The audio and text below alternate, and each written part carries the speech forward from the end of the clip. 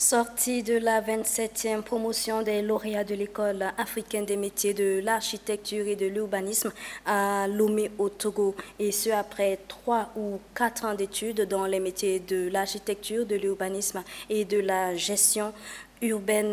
La remise des diplômes s'est déroulée ce matin à l'amphithéâtre de la faculté de médecine en présence du ministre de l'Enseignement supérieur, de la Recherche et de l'Innovation, Ahmad Garasta. Ils sont au total 41 lauréats de la 27e promotion à recevoir leur parchemin et désormais prêts à intégrer le marché de l'emploi.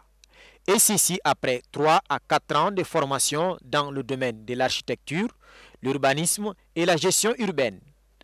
Des domaines de compétences dont les plus hautes autorités accordent une importance capitale. À la disparition de l'OCAM, je poursuis l'histoire.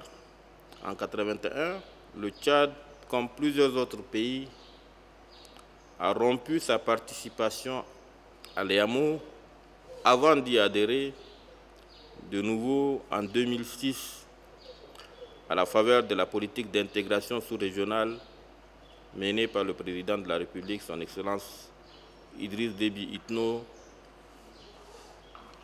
que nous voulons ici saluer. Notre école commune aurait besoin d'une profonde réforme pour s'adapter au contexte actuel. Contexte actuel où un certain nombre de pays membres ont créé ou ont envie de créer des écoles nationales. Créée en 1975 à Lomé, capitale du Togo, L'école africaine des métiers de l'architecture, de l'urbanisme est la pour mission de former la jeunesse africaine dans le domaine de l'architecture, l'urbanisme, gestion urbaine et bien d'autres.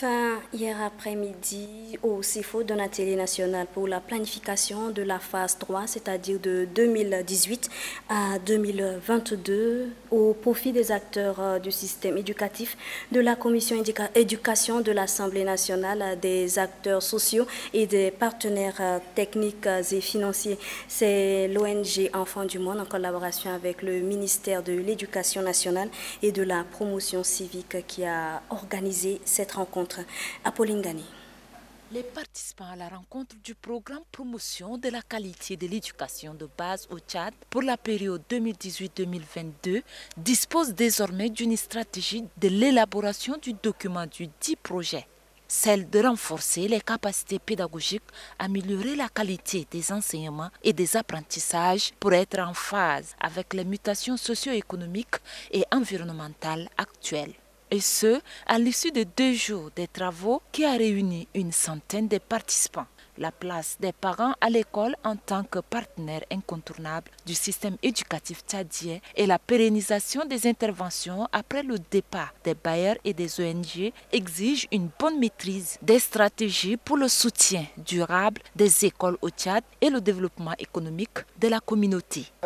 Dire que nous pourrons tout faire euh, tout de suite et pour tout le monde serait vraiment une erreur. En fait, la qualité de l'éducation, c'est une quête exigeante qui demande de la continuité, de la cohérence et de la coordination entre tous.